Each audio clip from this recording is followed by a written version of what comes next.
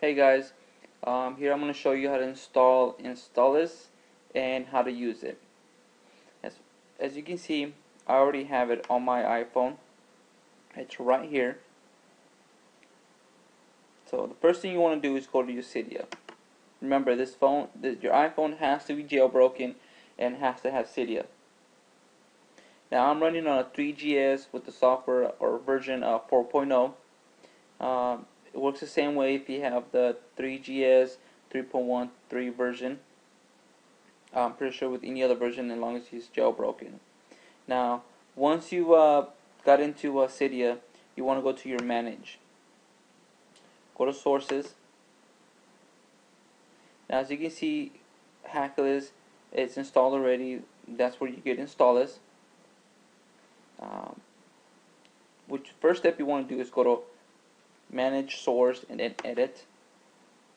Add.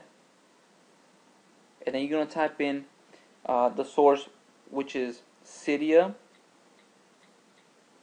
dot hack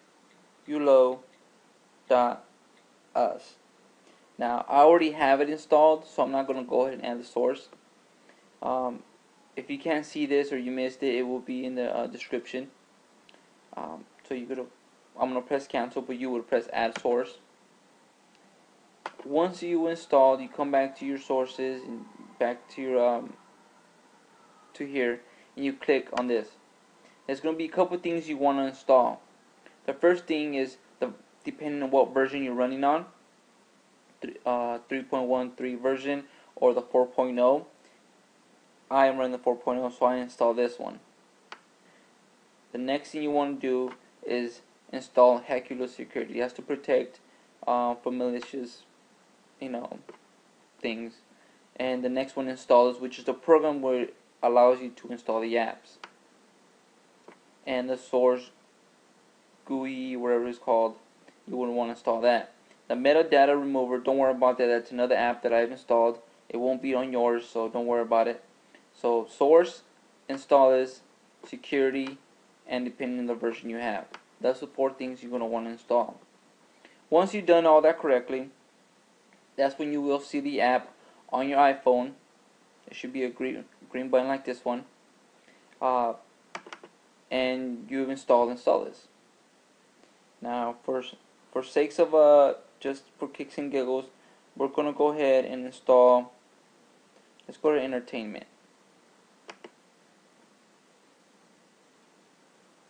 popularity.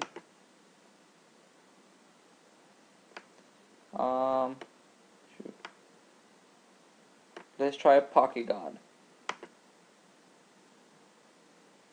Now, once you click on whatever you want to install, it's going to give you a description of the uh, app or whatever it is, just like the App Store.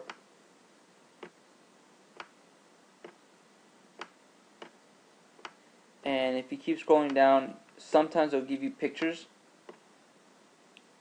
so you can see what it's going to look like and you can uh, sorry it's a little laggy and it gives you uh, what the game or whatever it is is going to look like. If you keep scrolling down it'll tell you when it got release date the version the size of the app and the price. That's usually in the app store.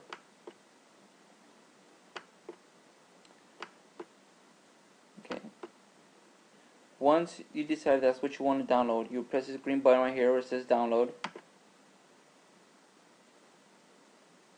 And it's going to give you a list. Sometimes the list is big, sometimes the list is small, but a list nevertheless. You click on, let's click on the first one. What you want to click on here, regardless of what things pop up, just advertisement, you want to click on this one the blue bar or just download normally. That's what you want to click on. Now, it's going to ask you to put a code. I'm pretty sure it's to verify you're human and not a computer or something. Yeah, wait, give a second to uh, download these advertisements. There you go. And it's case case sensitive. So if it tells you capital put capital, if lowercase, put lowercase.